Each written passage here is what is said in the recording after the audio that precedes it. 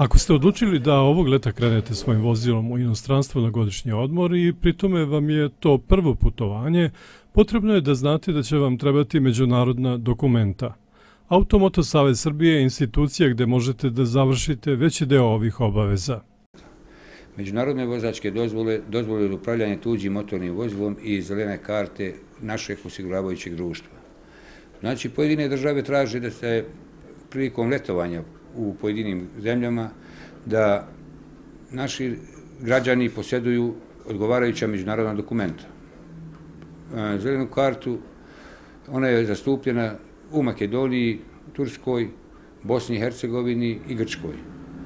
Čak i još da napomenem da građani koji putuju za Grčku moraju posjedovati i međunarodnu vozačku dozvolu a vozila koja se ne vode na lice koje će da letuje i koje će da upravlja tim vozilom, mora da posjeduje i dozvolu za upravljanje tuđim motornim vozilom u inostranstvu. U poslovnoj jedinici Automoto Saveza Srbije u Novom pazaru građani se već interesuju za međunarodne dokumenta.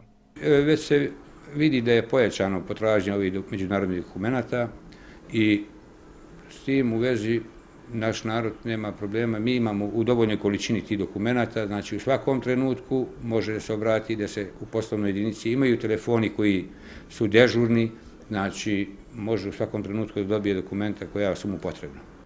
Za međunarodnu vozačku dozvolu koja važe tri godine treba izdvojiti 2000 dinara, za dozvolu za upravljanje tuđim vozilom 1500, a za zeleni karton osiguranja Automoto Saveza Srbije 2910 dinara.